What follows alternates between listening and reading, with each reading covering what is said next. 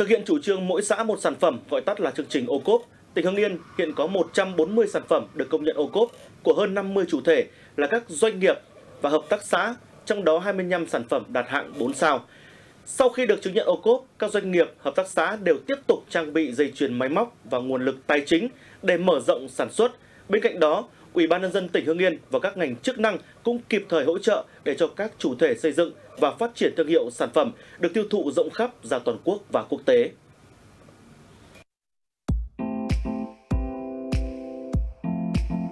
Công ty trách nhiệm hữu hạn Hoàng Minh Châu Hưng Yên là một trong những doanh nghiệp đầu tiên tại Hưng Yên có sản phẩm được công nhận OCOP 4 sao.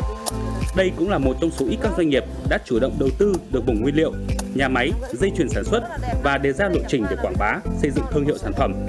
Nhờ vậy mà doanh nghiệp có trên 20 sản phẩm chế biến từ nghệ, trong đó có 5 sản phẩm được công nhận OCOP 4 sao và đang hướng tới xây dựng sản phẩm đạt tiêu chuẩn OCOP 5 sao trong thời gian tới. Chúng tôi đang xây dựng diện tích đạt tiêu chuẩn GACB đó là cái tiêu chuẩn dược liệu để làm cái nguyên liệu chính để sản xuất ra những cái thành phần rất là quan trọng ví dụ như cái cucumin các cái viên thuốc thì chúng tôi sẽ xuất khẩu vào những cái thị trường Nhật Bản, Mỹ và thị trường châu Âu. Tỉnh Hưng Yên hiện có 59 làng nghề tiểu thủ công nghiệp, 350 hợp tác xã hoạt động trong lĩnh vực nông nghiệp, 729 trang trại cùng một số vùng sản xuất nông nghiệp hàng hóa tập trung quy mô lớn, phát triển khá toàn diện theo hướng tăng năng suất, nâng cao chất lượng như vùng sản xuất cây ăn quả, vùng sản xuất lúa chất lượng cao, vùng sản xuất rau an toàn, rau nguyên liệu phục vụ chế biến. Đây là những lợi thế để các tổ chức cá nhân sản xuất những sản phẩm truyền thống, dịch vụ có lợi thế tham gia chương trình OCOP, tạo nên những sản phẩm có giá trị, sức cạnh tranh trên thị trường. Để giúp các chủ thể phát triển, xây dựng thương hiệu và tiêu thụ các sản phẩm OCOP, trong những năm qua, tỉnh và các ngành đã có những hỗ trợ trong tập huấn, trang bị kiến thức, tem mác sản phẩm, đưa sản phẩm lên sàn thương mại điện tử, kinh phí thuê gian hàng tại các hội trợ và một phần kinh phí để trang bị dây chuyền máy móc sản xuất các sản phẩm. Năm 2022, Sở Công Thương Hưng Yên xây dựng 5 điểm giới thiệu và bán sản phẩm OCOP tại thành phố Hưng Yên, huyện Phù Cừ, huyện Tiên Lữ và Kim Động. Thực tế cho thấy, nhiều sản phẩm đặc trưng trước đây sản xuất theo phương thức truyền thống, khi tham gia vào chương trình OCOP đã được chuẩn hóa, sản xuất theo quy chuẩn, tiêu chuẩn chất lượng. Các sản phẩm sau khi được công nhận sử dụng nhãn hiệu OCOP và thứ hạng sao, in và dán trên bao bì sản phẩm, nâng tầm và tạo niềm tin đối với người tiêu dùng, đủ điều kiện vào các siêu thị, hệ thống phân phối hiện đại. Đồng thời OCOP sẽ là cơ sở điều kiện cần thiết để từng bước mở rộng thương hiệu trong nước và phát triển ra thị trường quốc tế. Chúng tôi uh, làm cái kết nối uh, giữa người sản xuất những sản phẩm uh, đạt tiêu chuẩn uh, sản phẩm ô cốp trên địa bàn của tỉnh với uh, các cái trung tâm thương mại, hệ thống bán lẻ và các siêu thị. Bên cạnh đó hỗ trợ uh, những cái điểm bán giới thiệu sản phẩm đảm bảo được hai yếu tố. Thứ nhất là thuận lợi trong giao thương thứ hai nữa là cũng kiểm soát tất cả những sản phẩm được giới thiệu ở trong các điểm đó phải đạt được cái tiêu chuẩn vì hai lý do mà thứ nhất là để cho người tiêu dùng và người sản xuất được gặp nhau và sử dụng cái sản phẩm đúng đạt được cái tiêu chuẩn à, đảm bảo được cái yếu tố là tương xứng với giá trị à, bỏ ra của người tiêu dùng và tạo một thói quen cho người tiêu dùng là sử dụng cái sản phẩm đảm bảo được vệ sinh an toàn thực phẩm cũng như cái chất lượng được ổn định. Các điểm để trưng bày và bán hàng đều được đặt ngay trong các siêu thị cửa hàng lớn tại trung tâm xã Trung Nghĩa, xã Bảo Khê ở thành phố Hưng Yên, thị trấn Lương Bằng, huyện Kim Động, xã Thủ Sĩ, huyện Tiên Lữ và thị trấn Trần Cao, huyện Phú Cừ. Mỗi siêu thị được hỗ trợ hệ thống quầy, kệ để hàng, đèn chiếu sáng, biển trong nhà và ngoài trời. Tại các địa điểm này sẽ trưng bày giới thiệu và bán sản phẩm cho khách hàng khi đến tham quan và mua hàng. Tất cả các mặt hàng đều có địa chỉ xuất xứ nguồn gốc và gắn logo sản phẩm OCOP 3 sao và 4 sao của tỉnh Hưng Yên. Mọi người vào đây thường hướng tới những sản phẩm ngoại nhưng mà sau ờ, chúng tôi tư vấn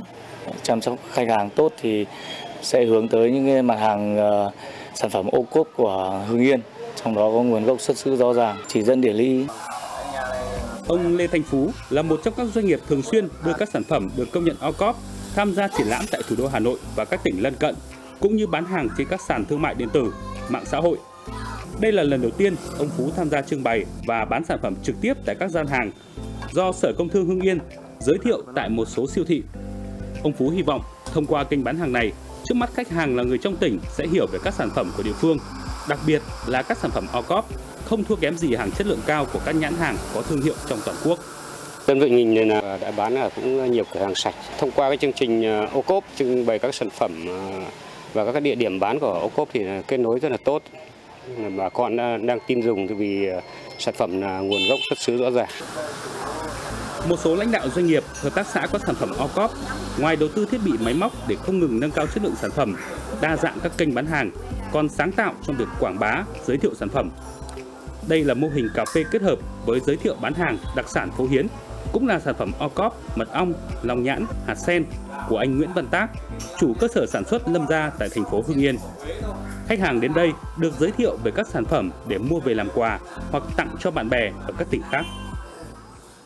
cửa hàng cà phê và bên cạnh đó nó kèm theo là showroom sản phẩm sản phẩm của tỉnh để quảng bá giới thiệu những cái sản phẩm ờ, nông sản ờ, chất lượng cao ô cốp của tỉnh Hưng Yên đến với bạn bè Ờ, trong tỉnh cũng như từ đó là giới thiệu rộng hơn đến với những bạn bè ngoài tỉnh.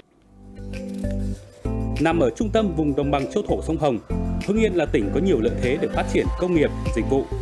Song nhắc đến Hưng Yên là nhắc đến những sản phẩm nước tiếng trong và ngoài nước như nhãn lồng, gà đông tảo, tương bần, hạt sen long nhãn. Được biết hiện nay, Hưng Yên đang có 140 sản phẩm được công nhận OCOP của hơn 50 chủ thể. Trong đó có 115 sản phẩm đạt hạng 3 sao, 25 sản phẩm đạt hạng 4 sao. Dự kiến trong tháng 12 năm nay, các ngành chức năng sẽ tổ chức đánh giá, xếp hạng và công nhận hơn 50 sản phẩm khác. Mới đây, ngày 22 tháng 11 năm 2022, Ủy ban Nhân dân tỉnh Hưng Yên ban hành kế hoạch số 198 thực hiện chương trình OCOP tỉnh Hưng Yên giai đoạn 2023-2025. Theo đó, các sở, ngành, Ủy ban Nhân dân các huyện, thị xã và thành phố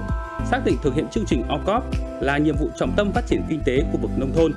theo hướng phát huy nội lực và gia tăng giá trị là giải pháp và nhiệm vụ quan trọng trong thực hiện xây dựng nông thôn mới nâng cao, nông thôn mới kiểu mẫu đi vào chiều sâu, hiệu quả và bền vững. Ủy ban nhân dân các huyện, thị xã và thành phố vận dụng các cơ chế, chính sách, nguồn lực, lồng ghép các chương trình, dự án ưu tiên hỗ trợ các tổ chức kinh tế tham gia chương trình OCOP trên địa bàn theo hướng có trọng tâm, trọng điểm, tập trung ưu tiên phát triển các sản phẩm đặc sản, chủ lực, tiềm năng của từng địa phương.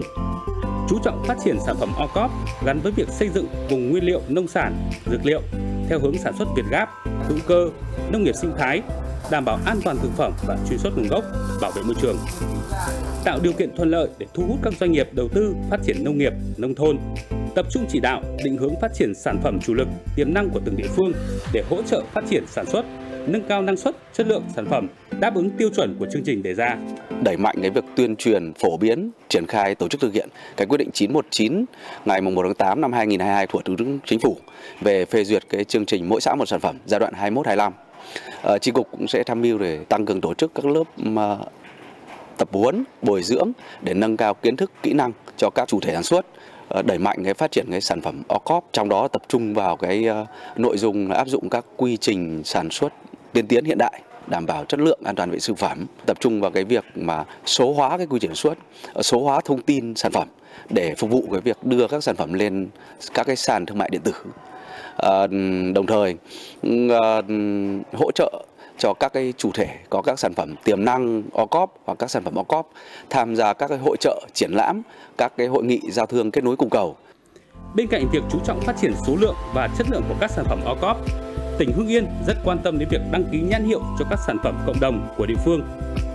Theo số liệu của Cục Sở hữu trí tuệ, Hưng Yên nằm trong top 10 địa phương có số lượng đơn đăng ký nhãn hiệu nộp tại cục nhiều nhất trong giai đoạn từ năm 2011 đến năm 2020. Hiện nay toàn tỉnh có nhiều chỉ dẫn địa lý và hơn 30 nhãn hiệu cộng đồng được đăng ký bảo hộ quyền sở hữu trí tuệ dưới hình thức nhãn hiệu chứng nhận, nhãn hiệu tập thể. Uy tín và danh tiếng cũng như chất lượng sản phẩm tiêu dùng của Hưng Yên liên tục được giữ vững, phát huy trên thị trường, mang lại niềm tin cho người tiêu dùng. Chính vì vậy, mà theo chỉ đạo của tỉnh sẽ tiếp tục phát huy vai trò của các cấp, các ngành, nhất là cấp xã trong triển khai chương trình OCOP, tăng cường quản lý và giám sát tiêu chuẩn chất lượng sản phẩm, an toàn thực phẩm, hỗ trợ tín dụng, hướng dẫn kỹ thuật, ứng dụng khoa học công nghệ, xây dựng thương hiệu, bảo hộ sở hữu trí tuệ, xúc tiến thương mại và quảng bá sản phẩm OCOP, mở rộng thị trường tiêu thụ và hướng tới xuất khẩu.